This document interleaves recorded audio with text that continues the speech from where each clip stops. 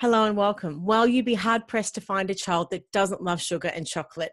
Now, besides the fact that it tastes great and, of course, it gives us a great pick me up, in most instances, we give it to children as a reward of course, when they're good or during celebrations with things like birthday parties, Halloween, Easter, whatever. So, really, it's by no fault of their own that children can become confused when we take it away from them. Now, as parents and carers, there's a lot that we need to understand about what sugar is really doing to our children's teeth. Now, to help talk to us about this today, we welcome our special guest, Tabitha Acret, dental hygienist at Airflow Dental Spa. Now, it's a little bit about our guest guest, Tabitha has 22 years' experience in the dental industry and she has a passion for community dentistry and preventative care. Now, she has a Bachelor of Oral Health and has since worked in a private practice as a dental educator at Sydney University. And uh, we're just really excited to be chatting with her. So, thank you for joining us, Tabitha. How are you doing? Thank you so much for having me. And I'm really excited to be able to talk about something I'm quite passionate about teeth and sugar. there you go. And I guess it's really time for us to to rethink next time that we grab a chocolate bar or even just like a, a juice box or a packet of potato chips for our kids, as there's hidden sugars in almost everything that we eat, isn't there? I'd love to know your thoughts. Yeah, there is. And it's a real minefield for parents. And I'm a mum, and I know how hard it is when you're at the supermarket and you're tired and you've got to get groceries and they're asking for 20 million things and the advertising is in your face and you know you, a lot of things say they're healthy or no added sugar but they can be real minefields to try and navigate because when we read the back and actually learn how to read labels some of the foods that appear to be maybe healthier options can actually have the most sugar in them. So it's really difficult because you might pick something and think and I know this is a trap I fell into a lot when I first became a mum was I just pick up anything that said organic because yes. like, oh, it's organic, it must be healthy. and it's not always the case. Yes, they might have organic products in it, but the sugar may be exceptionally high mm-hmm. and much higher than some of the other products. So, by having a look at the back of labels, especially looking at what the sugar content per 100 grams is, is a really good way to start navigating that as a parent. And I just try to read the back of labels. And then once you start to learn, all right, this brand's better than this, and this, you don't have to keep reading. You can kind of go to your usuals. Yeah. But looking at that back, especially when you think about something like yogurt. My son the other day wanted a brand of yogurt because it had a, a character on it, and obviously the marketing. That's where they really catch you. So the advertising for kids. Yep. so I picked it up and I had a look. Now the yogurt that he normally gets is 6.6 grams of sugar per 100 grams. The yogurt that he wanted to get was 18.9. Did you say 18? One eight. Yeah, one eight. So 18.9 grams of wow. sugar per, per 100 grams. grams. So that's more than double. It's almost triple. Well, yeah, it's almost triple what that sugar content was. And so when you think about that, like small choices by just looking at the brand of yogurt that we're having can make a huge difference. Some of the yogurts actually have more sugar than a yogo. That's and crazy. Yeah, and same as dental cereals, not like breakfast cereals. Some of the breakfast cereals that you look at actually have more sugar than a Krispy Kreme donut. Now, not many parents would serve up a Krispy Kreme donut every morning for breakfast. They'd be like, no, I'm not going to do that. But what they don't realize is, is that with some of the breakfast cereals that they're serving, you're pretty much doing the same. Yeah, you're doing the same. Yeah. And, and, and you're doing it thinking you're doing the right thing and that's just the thing is that sometimes you think that you, you, are having the healthier choice but in actual fact you're not because of the, the sugar content and I really it's incredible how increasingly prevalent that that children are ex- experiencing tooth decay um, due to this and the hidden sugars in everyday items as well. Now, I understand um, in in my preparation for our chat today um, that there's research that suggests that um, Australian children between the age to five five to ten years of age are already experiencing symptoms of tooth decay as a, as a result of this. Um, and it's not only does sugar, of course, impact the overall health, it increases both uh, decay and gum disease also. So I'd just love to know initially what your thoughts are on that. It's a really sad situation, actually, because uh, dental decay is one of the leading chronic diseases in the world. Wow. And it's the number one oral health complication worldwide. And the big thing is, it's actually preventable. And so that's why, as dental professionals, we're really passionate about talking about reducing our sugar and our, the importance of home care because we want to stop your children from experiencing these things. And a lot of people kind of think it's just their baby teeth. But if we don't set up the habits while they have their baby teeth, then they don't just snap in when they get their adult teeth.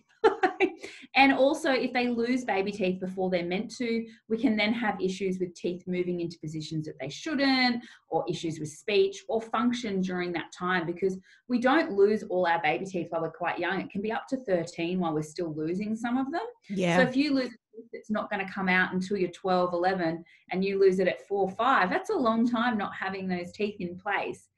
And the pain and the discomfort is something every parent wants their child to avoid. You know, you don't want them to be feeling the, the pain from having dental decay. Or, you know, like as much as I live at the dental surgery through my work life and I love treating people, I know in preventative care it's not that terrible, but having a filling isn't that fun. We know this, and you don't want your children to have to get needles or have fillings as their first dental experience. We really want their first dental experience to be a fun experience where it's preventative dentistry and not treatment. Yes, totally agree with that. Now, we published your article, and the title is Top Tips for Reducing Sugar in Your Child's Lunchbox. Now, for someone who hasn't read the article yet, can you please tell us what it's about and, of course, what inspired you to write it? It's about making changes and just swapping foods, and it can make a huge difference. One of the big issues with children who are going to school with really sugar heavy lunchboxes is they get highs and then they get crashes. Yep. So, besides the dental health implications, there's implications in their ability to learn and to concentrate and to behave at school. And we're asking a lot of these little bodies to sit and concentrate for really long times. And then we want to hype them up on sugar and crash them and, and expect excellent behavior at the same time. So, one, to help our children with their education and how they actually can cope at school. And also, if we're giving them a lot of sugar, they get that taste for it and that craving for it, and they want lots of sugar. Yep. So to help maintain that as well, and then so they lead healthier lives because obviously sugar is linked to obesity, uh, obesity, other um, chronic diseases, risks of diabetes, and then we've got dental health as well. So we're looking after their whole body and children sleep better when they don't have too much sugar as well. So therefore there's that whole of if you're sleeping better you're going to concentrate more. So i really felt when i would go grocery shopping with my child that just horrified at some of the sugar contents of foods when i started to really learn about it. And even myself as a dental professional i wasn't as aware until i had kids and started really looking into it. Mm-hmm. and i think um, the article is just trying to show that there are things that you can make the, sh- the swap like the yogurt you know, looking at the back of the yogurts, you can have quite a low sugar yogurt. Now, for me, I always aim to have under 10 grams of sugar per 100 grams as a rule. Even better if you can get it under five, but 10 would be kind of my limit of where I would be going to. Mm-hmm. So when I'm looking at that yogurt, instead of that 18.2 grams of sugar, I can make that six grams of sugar. That's a huge difference to the overall amount of sugar that my child's having through the day. Um, custards and pre-packaged foods like that again can be really high in sugar and you can make chia puddings at home that are cheaper and we can pre-make and store in the fridge and have a lot less sugar for our children as well yeah. Um, looking at the types of breads that we give our kids some of them are really high in sugar and having a look at you know swapping that over to more multigrain breads less sugar or swapping to sushi or something like that for our children. Like there's lots of swaps that we can do to make the lunchbox fun because the kids should go to school and be like i want to eat this. And also it's hard for parents in the morning. I know how hard it is getting everyone ready. So if we can think in advance and think about things that can be easy and to grab out of the fridge but still reduction in sugar as well. We need to keep all of that in mind. I don't expect everyone to have a master chef morning where they're because it would never happen in my house either. I am used to and going, where are your shoes? So I know how hard that morning can be. You want to make it as easy as possible, but trying not to then grab for the junk foods when we're doing it because a lot of the pre-packaged foods are higher in sugar. Definitely. So, if in your view, why is it important, like now more than ever, to re-establish, I guess, a regular checkup with your dental professional uh, and your dentist um, for children, especially, but for uh, for adults as well? Is that is this because there are so many hidden sugars in our in our day-to-day foods even things like tomato sauce and all of these things as well it's just incredible the hidden sugars so is this the reason why we need to have checkups Yeah, it's a it's multiple reasons. Um, we can actually catch decay when it starts quite early. It starts in phases. So the first stage will be where the calcium is being drawn out of the tooth, and we call this decalcification or demineralization of the tooth. Now, this will start with like a white lesion, then it'll become a brown lesion, then it will become soft, then it will become a hole.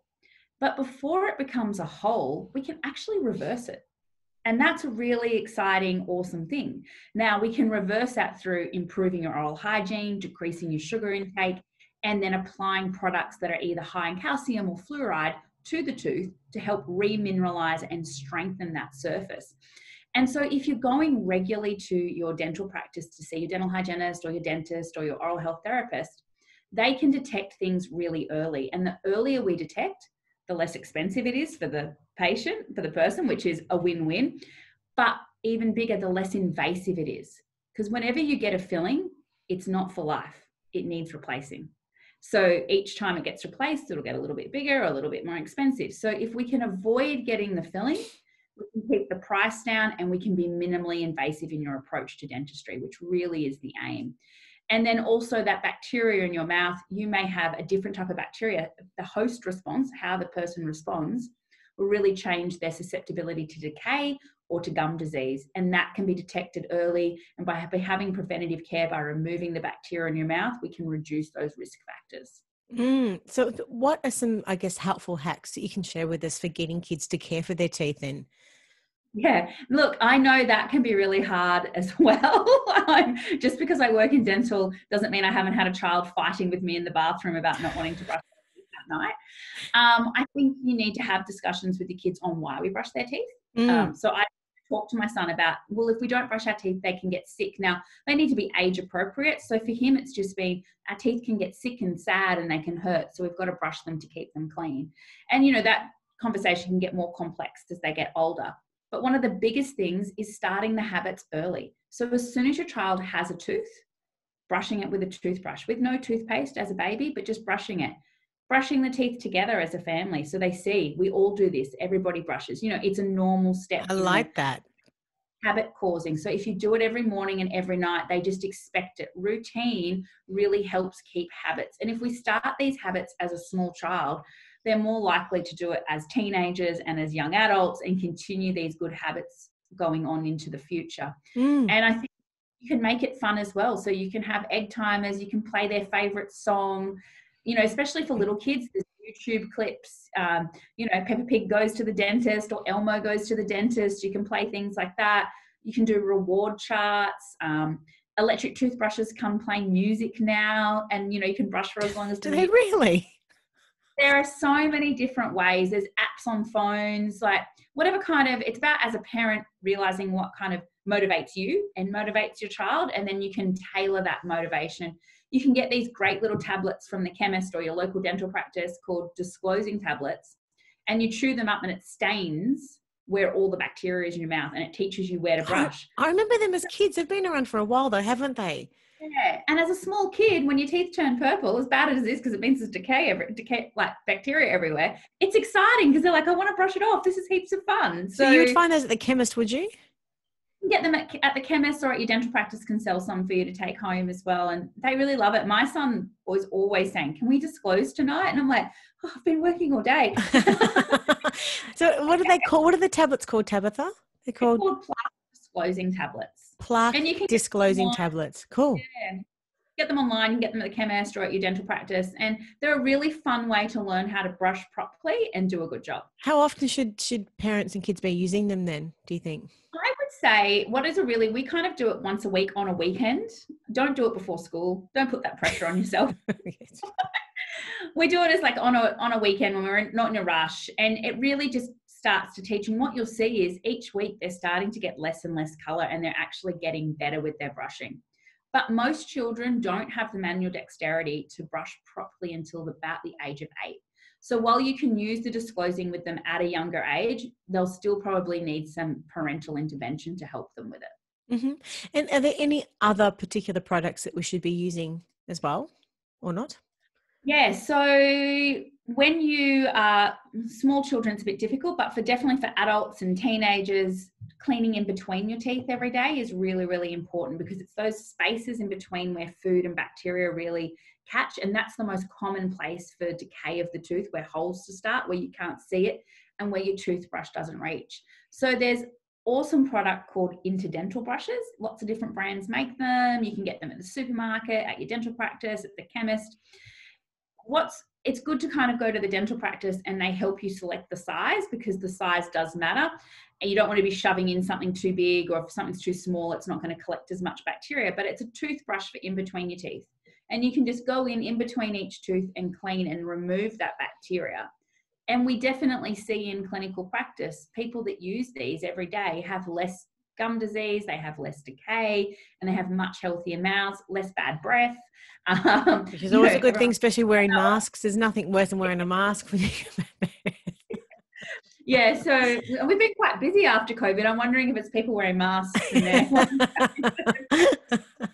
I mean, do you have any other tips? Oh, sorry, keep going, keep going. Sorry. Fluoride toothpaste. So obviously, under under two years old, children should just use water. Between two and six, they should use a fluoride reduced toothpaste that's age appropriate for them. And then after six, when we know they can spit properly, then they can start using just an adult fluoride toothpaste. And fluoride, we know, helps minimize the risk of decay and strengthen our teeth. And this has been something that we've known through research and that we've seen as a public health measure in oral health for many, many years. So using that fluoride toothpaste can make a huge difference. So under the age of two, no toothpaste at all? No, just just water on the toothbrush because they can't spit and they're just going to lick it off more than doing anything. And I mean, do you have any tips for, um, to help parents with children who I guess are really adverse to brushing their teeth and just don't like brushing their teeth at all? You mentioned earlier on, you know, brushing as a family, that there's apps, but is there anything else as well? I just wanted to clarify. Who are sensory sensitive, um, this can definitely be an issue. So, looking at different toothpaste, sometimes mint is a really strong flavor and that can be one of the adverse reasons why children don't want to brush because it actually is a burning sensation for them. Now, most of the children's toothpastes are low mint or different flavors, but say you've got a six, seven year old, there are brands that make non mint toothpaste, and you can have a look into that at the chemist or the supermarket because that's sometimes, especially for um, children who are sensitive to tastes and to touch, this can be a real issue with them with and then desensitizing them with the toothbrush. So, children that are very sensitive to the toothbrush feeling. And a lot of pregnant mothers experience this as well, like gagging during pregnancy, trying to brush. It's about trying to do some desensitization exercises with them. So, having them hold the toothbrush and rubbing their tongue or rubbing bits of their mouth when it's not brushing, but just trying to get used to it because that can be a real issue for children that have those um, sensitivities. Yeah. And for children who it's just because they want to be them. it's about trying to make it as fun as possible and rewards. I'm I'm all for bribery with children. yeah. I mean, how would you best describe to a child then uh, for them to brush their teeth? I mean, speaking to a child. So, what tips do you have that can maybe help so, some, parents? For little ones, like really little, you just say, "We're going to tickle our teeth," like mum. You know, when oh, they're like one, two, can turn it into a giggle. Like we're going to tickle, tickle, tickle, tickle. You know, and you just make that really fun. When they're big enough to actually have a conversation with, then we can start talking about needing to clean the germs in our mouth, and we don't want our gums and our teeth to get sick. When they get a little bit bigger again, we can start talking about that those germs actually make holes in our teeth and then we need to get something done. And so, you know, we need to get band aids put on at the dentist and we want to avoid that because we want our teeth to be strong. And so, having those discussions about wanting things to be strong and healthy and prevent that disease, children actually take that on quite well. My child was actually having a tantrum the other night because he didn't want to brush his teeth. He was really tired. And I was getting really annoyed because it was going forever. And I said, Fine, we're not going to brush tonight then. And then he just burst into tears. And I said, What's wrong now? And he goes, Do you not understand? If I don't brush my teeth, I'm going to get a hole and then I'll need a filling. Do you not even know how this works? and, you know, after in my head, I thought, thank you for mansplaining dentistry to me. Um, but it's worked. The years of talking about why we brush, he understands. And while he wanted to have that little Mexican face off with me in the bathroom, he really did want to brush them. So I mean that that is that is brilliant. Now, but like, how long should children brush their teeth for every day as well? I mean, so when you were, you know, you're speaking to your your son, although the, he he understands the reason why. I mean, how, how have you described um, to your son, and or should parents describe the length, um, age appropriate, of course, but that they should be sort of brushing?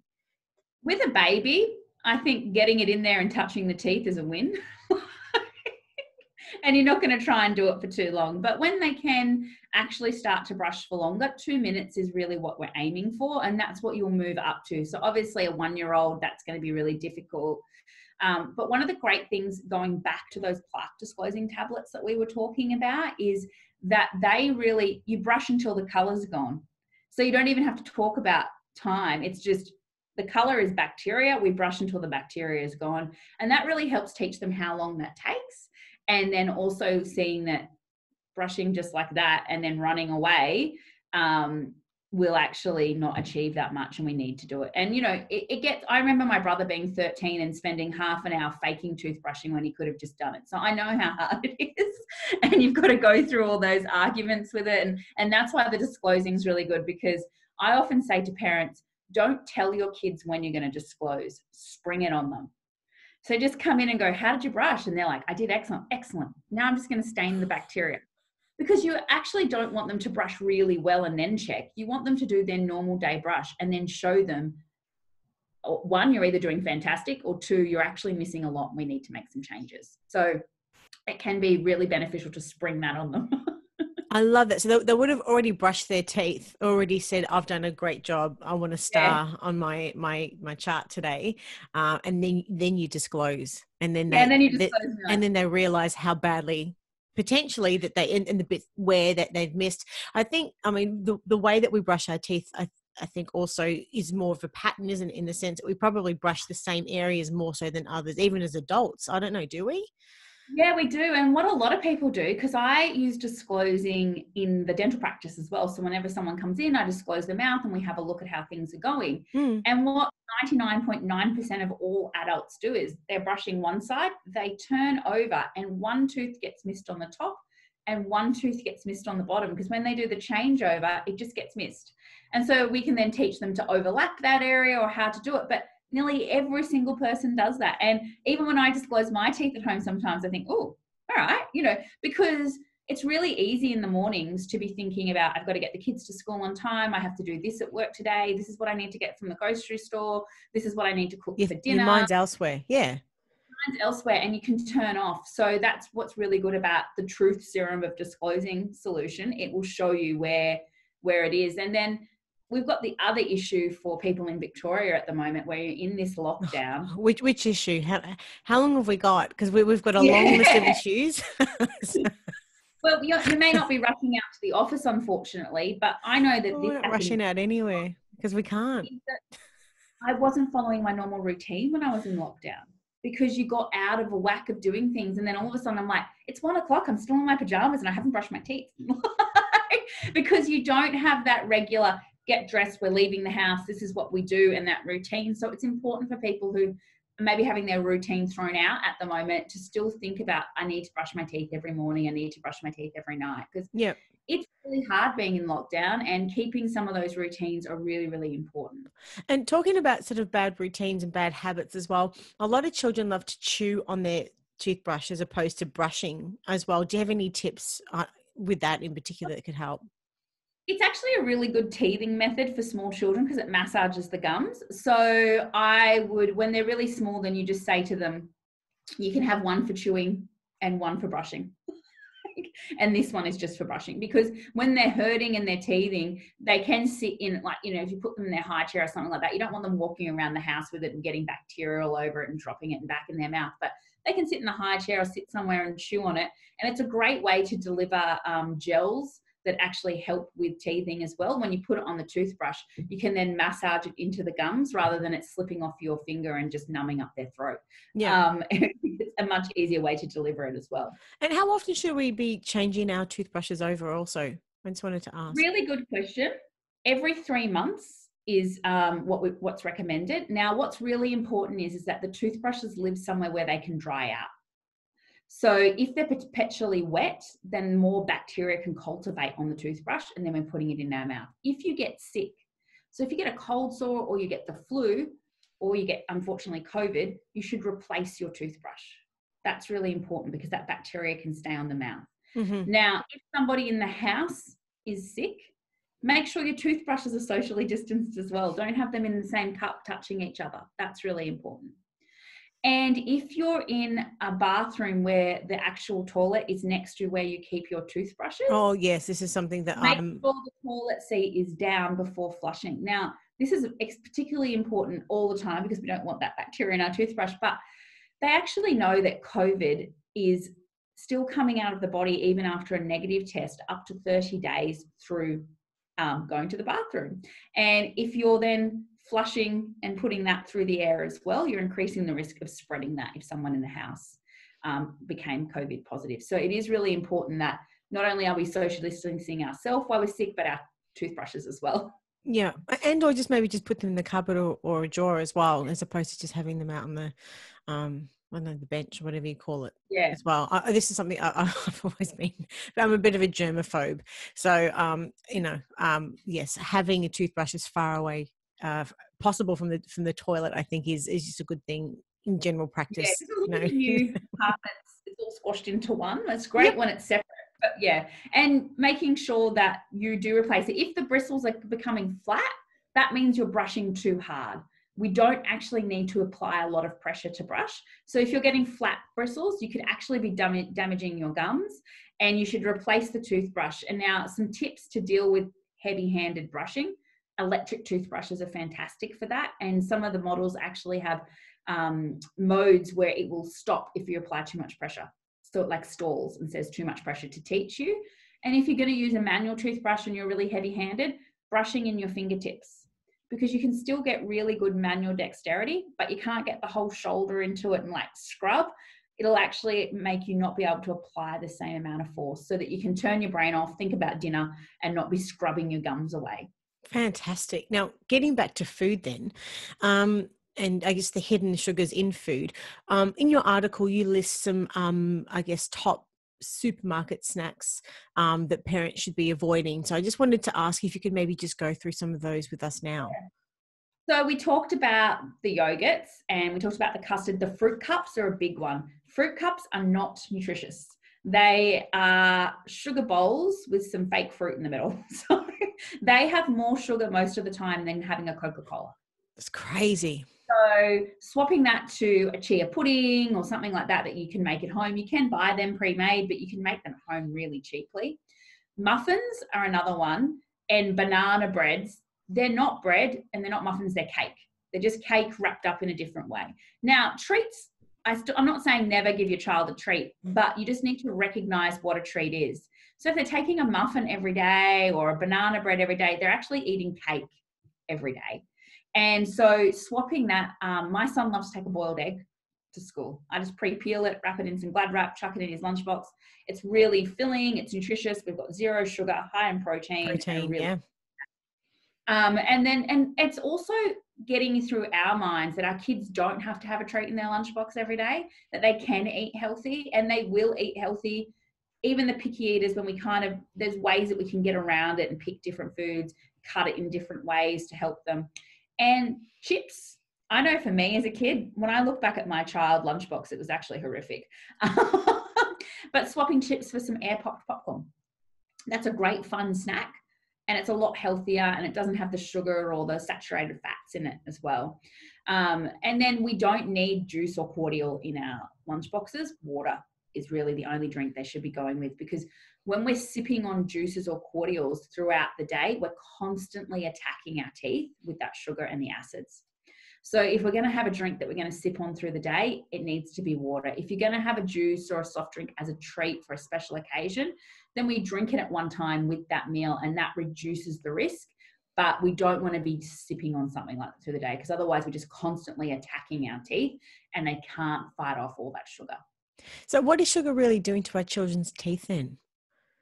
So it attacks the teeth. So it actually, like I said, the first process will be the calcium coming out. The acids and the bacteria attack that tooth, and they actually start to soften that surface and cause a hole. And that's when you will get pain or sensitivity, or worst case scenario, that decay can go into the middle of the tooth and infect it. And we can actually get an infection at the bottom of the tooth that then needs what we call root canal therapy or an extraction. And so we really want to avoid those things. And you know, the aim is is that we really like most of our children, where possible, to not get any fillings and make it to their adulthood filling free. And we can do that with regular oral hygiene at home, so brushing our teeth, using a fluoride toothpaste, having regular checkups at the dentist, and avoiding sugary foods. So, like I said, I don't want to say I'm not terrible and my kids never have birthday cake or never have a treat. I'm just wary of what a treat is and how often you have that treat because they don't need to be every day. Yeah. And, so, so, what are some of the more common signs then of um, and symptoms of tooth decay? And I mean, at this case, in this case, I mean, why would it occur, and how should we then manage, I guess, decay in the so, tooth? They could have brown spots. They could start getting um, a bad breath. They could get pain. They could start, you know, for the kids that are non-verbal, they could be pulling at their face or hitting it um, or more upset or more uncomfortable. Uh, they could, if they can speak, then they can say, you know, it's hurting, could be throbbing if it's quite a bad infection. And besides going regularly so that we can prevent that early, you know, going to the dentist as soon as you see any changes in your child's mouth like that so it can be treated because one of the biggest reasons children are hospitalized in Australia is through um, dental issues and having a lot of decay and needing to have treatment under general anesthetic. Really? And really serious problem, and that's something we'd really like Australia wide to see reduced.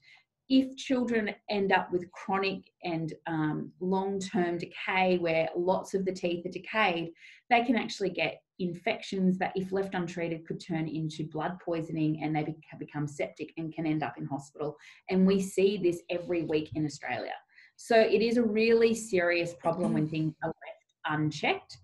And one of the biggest causes of the problems when we see it like that are children that are going to bed with a bottle of juice or a bottle of milk and sleeping with that bottle because that sugars stay on the teeth all night and they're constantly being attacked.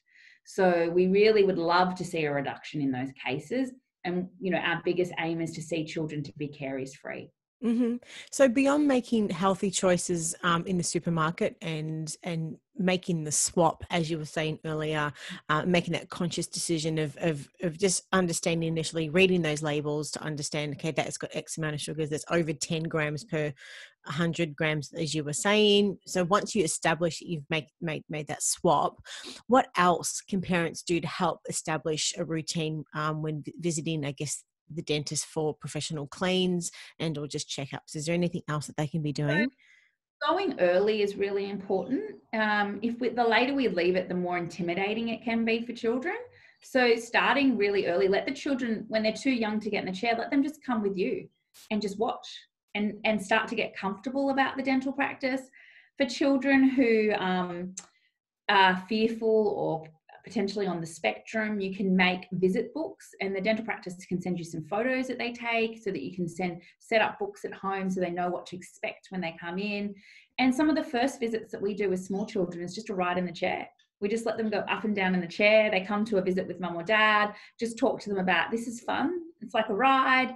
Let them, we might count their teeth if they let them, but we really try to make it a non confrontational, fun experience so that they really see it as somewhere fun to go and we can start with preventative dentistry. And then doing the home care using the fluoride toothpaste drinking water as our main drink. Juice it has as much sugar as soft drink. It's just it's it's soft drink wrapped up in a mis- misleading label. That's what juice is. And so avoiding it and avoiding other you know the sugary foods and brushing our teeth at home now we've spoken about um, tooth decay, but I wanted to also ask about just plaque um, as well. But how difficult is is it for, for plaque to be removed without professional help as well? Is it possible? Yes, yeah, so plaque is soft and you can remove that at home with your toothbrush. Now, obviously, the older it gets, the more stubborn it is to get off. When plaque has been left there for 24, 48 hours, it can start to calcify through the calcium in our saliva. And that's when you can't get that off with your toothbrush. That's when you need professional intervention to remove that so that we can remove it. When that hard um, plaque, the calcified plaque, which we call calculus, or lots of plaque, which we call biofilm, is stuck to the tooth, can actually cause inflammation of the soft tissue, so the gums that support our teeth. Now, that might manifest as bleeding, um, sensitivity, red and puffy, bad breath, you might start to notice in really severe cases that teeth are starting to get loose because it actually starts to affect the bone and that just starts to disintegrate around the teeth. And that's why when you hear people getting long in the tooth or loose teeth, it's actually from that gum disease. And this is a really serious condition, which we know has links with controlling diabetes, um, cardiovascular disease, Alzheimer's, and the list is really long. And it it affects your systemic health when you have that much bacteria in your mouth. So, seeking treatment for that is really important, but the biggest thing is preventing it and having those preventative care appointments at your dental practice so that you can have that bacteria removed from your mouth regularly. The bits that you can't get to, or the bits that you've been missing, you can get that oral hygiene instructions and motivation, which is really, really important. And that can really help you with preventing those disease processes because once we start getting um, disease of our gums and the bone around our teeth, while we can make it stable, we're then always at a high risk for the rest of our life for that reoccurring. Yeah. And I wanted to ask you, what is airflow? Um, we mentioned it at the start of the chat, and um, why should children and parents be using the treatment? So, airflow is the game changer in dentistry, really. I've been using it for seven years, and it's really changed the way that I treat patients. So, when you've normally come to the dentist, you might expect to get cup that's got paste on it and they polish your teeth at the end. Mm-hmm. Where we use technology that is air, powder, and water, and it washes the teeth really gently along the gums and removes all the bacteria and gets into areas where the cup and the paste normally can't get to. Now, if you've got that calcified bacteria, then you don't need to use the instrument that removes that as much either. And it's a really gentle way of removing it keeping all the tissues in your mouth intact because it's the least invasive way to do it. But it doesn't hurt. The water's heated to 40 degrees, and that's what lots of people they're like, oh, I don't want to go to the dentist because it's cold and I have sensitive teeth and it's uncomfortable. And it often, with kids, they say to me, it tickles. So it's a really non invasive, gentle way to have your teeth um, with the bacteria removed. And it's really changing that way of making it not something you have to be fearful of, but I don't want to say enjoyable because maybe people don't like run in wanting it, but they they they don't. My patients do like it. Like the other day, a patient said to me, "That is the nicest clean I've ever had," because there was no pain. It's comfortable and it's a lot quicker as well. Nice. So you can find airflow practices by going on the Airflow Dental Spa website, and you can put in the suburb that you're in, and it will show you where practices are that use that.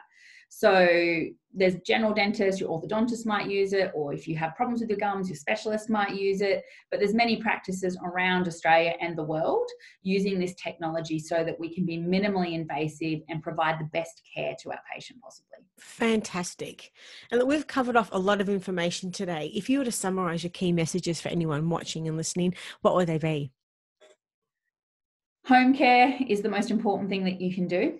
So, brushing your teeth, cleaning in between your teeth, visit your dental practice regularly. Preventative care is way better than treatment, and reduce your sugar. Mm-hmm. The only thing we didn't touch on was flossing. That's the only other thing, I guess. So I kind of avoided it because it's quite technique sensitive. So those little brushes that I was talking about, that replaces flossing. And I actually think that that's a much better technique and a lot easier to use. And you'll remove more bacteria. And the science behind it actually shows that you're going to keep your teeth and your gums healthier with them compared to floss. So the brushes are definitely what we promote at my workplace. And I work in a specialist center where we treat people with gum disease. And it's definitely what I promoted in preventative dentistry as well. Yeah, this has been fantastic, and I've actually learnt quite a lot today. but if anyone's got any other questions for you and or want to learn more about airflow, um, whereabouts can they find you guys? So we've got the airflow dental spa.com.au. Um, you can go on the website. There's lots of information about airflow, how it works for patients, and you can find clinics that can treat you. Right, Tabitha. I've had heaps of fun today. I wouldn't have thought that I would have had so much fun learning about teeth, but I actually have. So thank you. And I hope everyone watching and listening has as well. Um, and definitely there's been tons of information that's going to help. And as I said, learn heaps. So thank you. And in the meantime, stay safe and um, hope to maybe have another chat again in the not too distant future. But until then, stay safe. Thanks again. Thank you so much for having me. Bye, everyone. All right, take care. Bye.